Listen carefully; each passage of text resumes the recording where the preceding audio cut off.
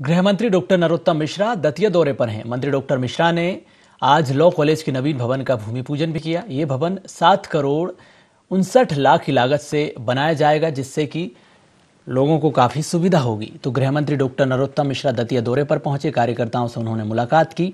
इस दौरान law college के नवीन भवन का उन्होंने भूमि पूजन किया। साथ ही छात्रों का उन्होंने उत्साहवर्धन किया है।